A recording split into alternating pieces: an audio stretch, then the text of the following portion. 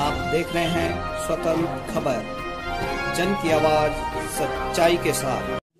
नमस्कार, मैं स्वतंत्र खबर से मनीष खुकसाल स्वतंत्र और आज हम पौड़ी ज़िले के सतपुली में हैं और जहाँ पर आप देख रहे होंगे कि लगातार भू कानून के लिए जिस तरह युवाओं ने भी एक कवायद करी थी और उसके बाद फ़िल्म के निर्देशन, निर्माता और तमाम film industry, Garhwali film industry अब जुट गई है भू कानून के लिए और भू कानून पर आधारित एक फ़िल्म है भूमि भूमि को लेकर के लगातार ऑडिशन चल रहे होंगे। आपने देखे होंगे कि अभी ऋषिकेश में भी कुछ दिन पहले ऑडिशन हुआ था।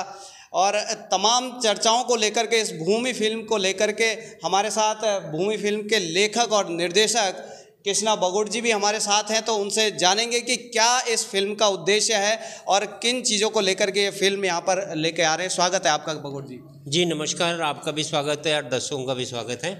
इस फ़िल्म के बारे में मैं थोड़ा सा ये बताना चाहूँगा कि ये फ़िल्म काल्पनिक नहीं है सबसे पहली बात। तो ये यथार्थ है और आने वाले 10-15 साल में हर घर की कहानी ये होने वाली है जो इस फ़िल्म में दिखाई जा रही है।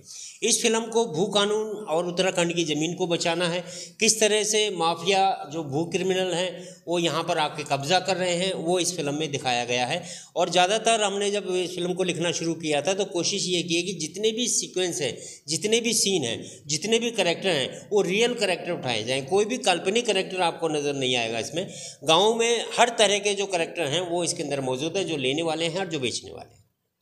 यहाँ पर जो लेखक और निर्देशक ने हमें बताया कि किस तरह से इस भूमि फ़िल्म को यहाँ पर दिखाया जा रहा है भू कानून के ऊपर जो भू माफिया उत्तराखंड में खरीद फरोख्त की जो चल रही है कवायद उसको रोकने के लिए भू कानून एक संदेश देना चाहती है उत्तराखंड वासियों को। हमारे साथ कुछ और जुड़े हैं साथ में श्री मेहरबान सिंह मियाँ जी।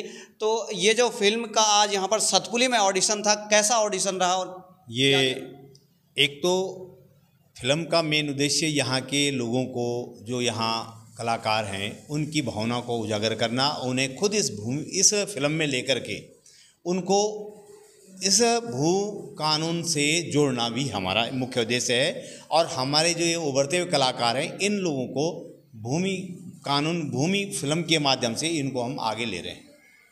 और आप देख रहे होंगे कि लगातार हमारे साथ और भी हैं राकेश खंतवाल जी, जो कि पहले भी बगुड़ जी के साथ फ़िल्मों में काम कर चुके हैं तो पुरानी जो जो पद्धति है गढ़वाली फ़िल्मों की, उनके बारे में हम कुछ जानेंगे कि वो क्या पद्धतियाँ थी और किस तरह से लेकर के पहले जो फ़िल्में बनती थी और अब ये जो नई फ़िल्म है भूमि, ये नई पिक्चर गढ़वाली पिक्चर, शायद बड़े पर्दे की पिक्चर है और चक्रचाल के बाद मैं मानता हूँ कि उसके बाद, काफ़ी लंबे समय के बाद, चक्रचाल के बाद ये जो भूमि पिक्चर है वो यहाँ पर आई है। उससे पहले मैं थोड़ा सा तो काफ़ी अभी अभी पथों भी आ रही है सुबह गाँव भी आई भूलिए भूली आई। वो मेरू गाँव बहुत सारी फ़िल्में जो हैं वो लगातार आ ही रही हैं। आ, लेकिन ये जो सब्जेक्ट है ये सामाजिक सब्जेक्ट है ये किसी पर्सनल किसी कहा किसी की कहानी नहीं है। जैसे कि बगोट जी का कहना है कि ये पर्सनल किसी की कहानी है तो हम उनसे लेंगे खंतवाल जी से उनके पास जाएँगे उनसे पूछेंगे कि क्या पहले की फ़िल्मों में था और आज ये जो फ़िल्म भूमि बनी है उसमें क्या अंतर है?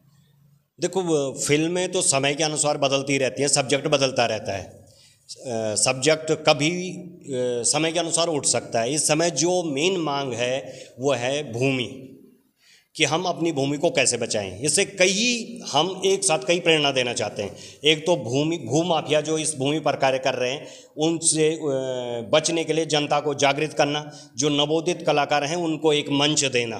तो एक साथ कई उद्देश्य हैं इस फ़िल्म के जो।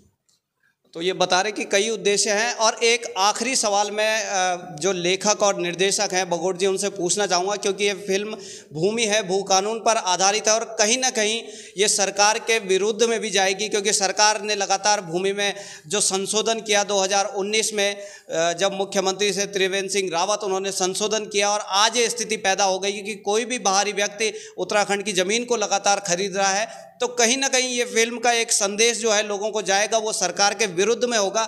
तो इसके लिए क्या तैयारियाँ हैं बगोट जी? बहुत सारी तैयारियाँ हैं। सबसे पहली तैयारी तो ये है कि हमारे साथ घनानंद जी हैं। हम दोनों मिलकर इस फ़िल्म को बना रहे हैं। और ये अपने आप में ही एक बड़ा बड़ा मुद्दा है कि भाई घनानंद और कृष्णा बगोट दोनों मिलकर इस फ़िल्म को बना रहे हैं। आज उन्होंने आना था, वो आ नहीं पाए यहाँ पर। और इसके अलावा हमारे साथ जितने भी क्रांतिकारी लोग हैं, जो भू के लिए काम कर रहे हैं, गणेश गरीब हो गए सेमवाल जी हो गए, बहुत सारे ऐसे लोग हैं, जिन करेक्टर को हमने रियल रखा है। वो आंदोलनकारी हैं और आंदोलनकारी ही इस फ़िल्म में दिखाई देंगे। जो हमारे पत्रकार हैं, वो पत्रकार के रूप में ही दिखाई देंगे इस फ़िल्म के अंदर। और जो क्वेश्चन करेंगे, उनका कोई स्क्रिप्ट नहीं होगा। वो एक नेचुरल जो सवाल जैसे आप पूछ रहे हैं, उसी तरह का। जब आप इस फ़िल्म को देखोगे तो आपको कहीं भी ये नहीं लगेगा कि आप किसी काल्पनिक स्टोरी को देख रहे हैं। आपको ऐसा लगेगा कि वाकई ये हमारे उत्तराखंड की कहानी है और ये हर उत्तराखंडी तक हम पहुँचाने वाले दूसरी बात है कि इस फ़िल्म का जो बजट है, पहली उत्तराखंड की ऐसी पिक्चर है जिसका ढाई से तीन करोड़ का बजट हमने रखा है। और इसमें जो हमारे आर्टिस्ट हैं जैसे मियाँ जी ने बताया कि हमारा पूरे ऑल ओवर इंडिया में जहाँ जहाँ पॉसिबल हुआ, हम ऑडिशन ले रहे हैं, क्योंकि आर्टिस्ट में बहुत ज़्यादा हैं। और पूरे ऑल ऑल ओवर इंडिया में जितनी भी प्रतिभाएँ हैं गाँव गाँव में जाकर भी हम लोग उन प्रतिभाओं को लेके आ रहे हैं और इस भूमि के माध्यम से आपके सामने उनकी टैलेंट और उनको एक प्लेटफॉर्म दे रहे हैं। कहीं ना कहीं सरकार इसको रोकने के लिए एक दबाव बनाएगी तो उस पर क्या तैयारियाँ हैं? नहीं नहीं सरकार रोकने के लिए बल्कि सरकार तो सपोर्ट करेगी इस चीज़ को। सरकार को भी चाहिए कि ये ज़मीनें जो हैं बचे उत्तराखंड की। देखो मैं एक बड़ी बात कर रहा हूँ कि उत्तराखंड में अभी जब परिसीमन होगा जब परिसीमन होगा तो अभी जब उत्तराखंड बना तो चालीस सीटें थी छः सीटें नीचे चली गई। अभी जब दोबारा परिसमन होगा तो उसके बाद तो अभी बीस सीटें और नीचे जाने वाली हैं। उसके बाद हमारे पहाड़ों में सिर्फ़ चौदह विधायक रह जाएँगे और चौदह विधायक जो है सिर्फ़ एक प्रधानों से भी उनकी वैल्यू कम हो जाएगी। अगर इसी यही जो है हाल वो होता रहा। हमारा कोई ना पहाड़ का ना कोई मुख्यमंत्री बनेगा, ना मंत्री बनेगा, न ही किसी पद पर रहेगा। तो जहाँ तक सरकार भी इस चीज़ को रोकेगी कि यहाँ से ये सीटें नीचे ना जाएँ और एरिया में कहता हूँ, जैसे कि चौपटिया खाल लैंडस्टोन विधानसभा। अगर ये दोनों एक ही विधानसभा हो जाएगी, अगर परिसमन हुआ, अगर बीस विधायक नीचे गए, अगर ये दोनों एक ही विधानसभा हो जाएगी तो आप खुद ही सोचेंगे विधायक कहाँ कहाँ जाएगा और कैसे वो विकास कर पाएगा। हालाँकि विधायक निधि तो वही रहेगी ना तो ऐसा तो नहीं कि दो विधानसभाएँ होंगी तो विधायक निधि बढ़ जाएगी। विधायक, वही इसी विधायक निधि में इतना उसको काम करना बहुत मुश्किल है इसलिए सरकार भी इसको सपोर्ट करेगी। उसमें देखिए बगोट जी का कहना है कि सरकार इसको सपोर्ट करेगी क्योंकि ये सरकार से जुड़ा हुआ मुद्दा है और सरकार को इसका हल ज़रूर निकालना चाहिए। ये संदेश भूमि फ़िल्म लेकर के आई है कि ये संदेश है। साथ ही उन्होंने जैसे बताया कि परिसीमन को लेकर के भी उत्तराखंड की सरकार को भी सजग रहना चाहिए और इस पर भी कार्य होना चाहिए ताकि पहाड़ी क्षेत्रों में विकास हो सके और लगातार ये फ़िल्मों के माध्यम से, अपनी भूमि फ़िल्म के माध्यम से उत्तराखंड की भूमि को बचाने के लिए एक संदेश दे रहे हैं। मनीष कुकसाल स्वतंत्र, उत्तराखंड के, पौड़ी ज़िले के सतपुली से। भू फ़िल्म बन रही है, इसमें सरकार के विरुद्ध नहीं है। मेन मुख्य उद्देश्य हमारा इस फ़िल्म को बनाने का है कि हमारे जो उत्तराखंड से जो प्लाइन हो रहा है, उसको रोकना है। तो हमारा ये संदेश जो यहाँ से प्लान कर रहे हैं, उनको ये देना है कि यहाँ उत्तराखंड में आकर के अपनी भूमि को बचाओ और जो बाहर के लोग हमारी भूमि को खरीद रहे हैं, उनसे उस भूमि को बचाइए और आप पुनः जो है उत्तराखंड में आकर के अपनी भूमि की रक्षा कीजिए। मेन मुख्य उद्देश्य हमारा इस भूमि फ़िल्म बनाने का है। अपने क्षेत्र की खबर के लिए चैनल को सब्सक्राइब करें। बेल आइकन दबाएँ। सबसे पहले खबर को पाने के लिए